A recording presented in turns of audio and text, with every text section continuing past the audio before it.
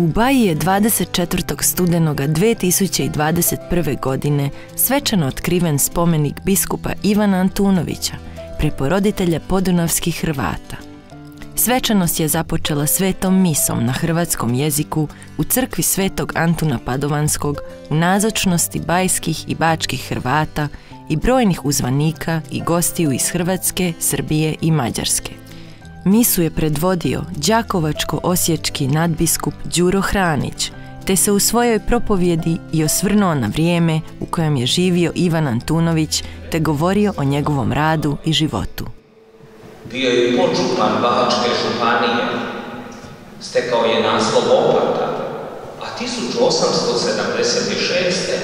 imenovan je titularnim, to jest naslovnim biskupom, i to posadskim. Nakon mise, svečano se nastavila ispred novopostavljenog spomenika pokraj crkve. Nazočne je među ostalima pozdravila prijedsjednica Hrvatske samouprave grada Baje Angela Šokac-Marković, državni tajnik Središnjeg državnog ureda za Hrvate izvan Republike Hrvatske Zvonko Milas i državni tajnik ureda prijedsjednika vlade za narodnosne i vjerske odnose Miklo Šoltes.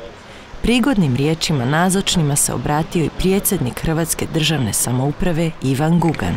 Probijajući se kroz povijesne vrtloge Bunjevačke Hrvate su pratile svakojake nevolje i nedaće.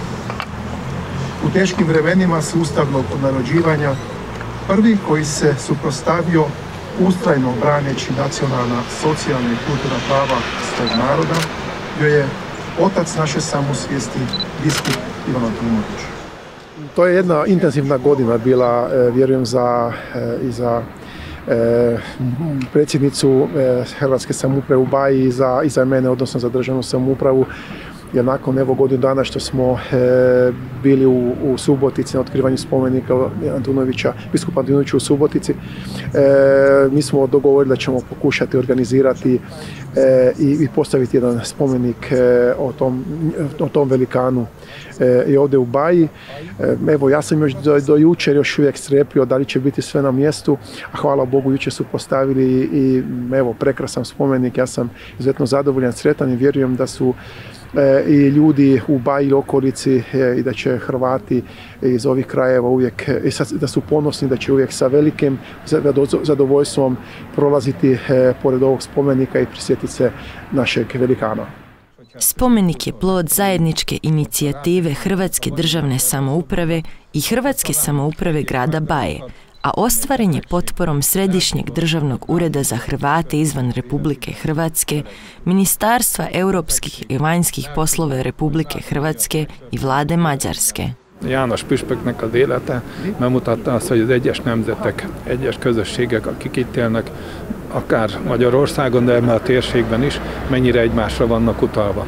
És hogyha ezt az egymásra utaltságot mi komolyan vesszük és segítjük egymást, magyarok és horvátok, de hozzáteszem magyarok és szerbek és horvátok és szerbek között is ez a kapcsolat erősödik, akkor minket nem tudnak tönkretenni semmilyenféle hatalmak, nem tudnak minket szembeállítani semmiféle hatalmak, és ez óriási feladat és felelősség. Másik oldalról pedig a mindennapokban azt is bizonyította, hogy aki közhatalmat gyakorol, de nem csak ő, hanem minden egyes személy, másikra való odafigyeléssel, ha valaki bajban van, szegénységben van, éppen ö, nehéz élethelyzetbe kerül, akkor oda kell rá figyelni, segíteni kell. De ugyanez igaz bármilyen más tekintetben is, hogyha bajban van az egyik nemzet, akkor a másik segít.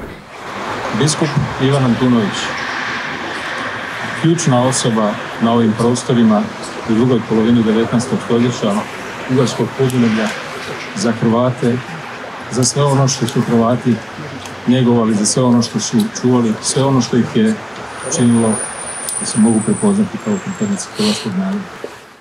On je podignut u Subotici, ali isto tako važno da je podignut ovdje u Baji, dakle u mjestu gdje su Hrvati to što jesu Hrvati, ali stanovnici i građani Mađarske integrirani u svim segmentima života i to će ostati dalje. E, važno je da svoje velikane koji su učinili puno toga za Hrvate, koji su cijeli svoj život posvetili, posvetili svom narodu, svojoj vjeri, svom jeziku, da ih ističu kao primjer i sebi koji danas jesmo tu i onima koji će doći kako bi uvijek mogli čuvati ono po čemu se prepoznajemo kao pripadnici hrvatskog naroda i kako bi mogli pokazati svijetu i svima da premda živimo ovdje stoljećima, da premda smo građani Mađarske, da smo mi pripadnici hrvatskog naroda i kao takvi da možemo biti i dobri i lojalni državi u kojoj živimo, ali da ljubimo i svoju pradomovinu. Poslije prigodnih govora otkriven je brončani spomenik, rad akademskog kipara iz Zagreba Bernarda Pešorde, koji je autor iz spomenika Antunovića postavljenog u Subotici prije više od godinu dana. Spomenik je blagoslovio nadbiskup Đuro Hranić. Pa ja bih još jednom zahvalio e, veličasnom doktoru Ivanu, Ivankovi, Ivanu Radaku, Ivankoviću. Zapravo on, on me je, da, kako da kažem, ovaj, angažirao za Suboticu i onda su gospodin ovaj, Gugan je htio imati i u Baji Antunovića i evo ga tu je.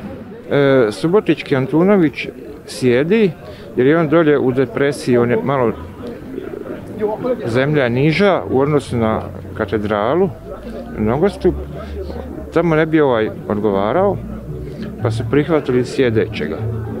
I onda su htjeli Hrvati, Bunjevci iz Mađarske, ovu drugu verziju koja nije bila tamo realizirana i tu smo ostvarili.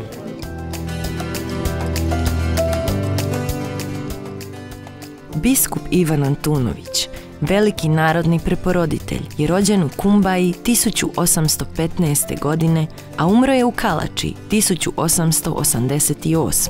Jedan je od najistaknutijih osoba među Hrvatima u Ugarskoj u 19. stoljeću, duhovni vođa bačkih i podunavskih Hrvata, bunjevaca i šokaca, ustrajno je radio na buđenju hrvatske nacionalne samosvijesti kod hrvatskih etničkih skupina, onda izloženim intenzivnoj asimilatorskoj politici. Publicist i prozni pisac, pokretač je bunjevačkih i šokačkih novina, te bunjevačke i šokačke vile, koje su promicale usvajanje književnog jezika kakvim se govori u Hrvatskoj i autor je više knjiga.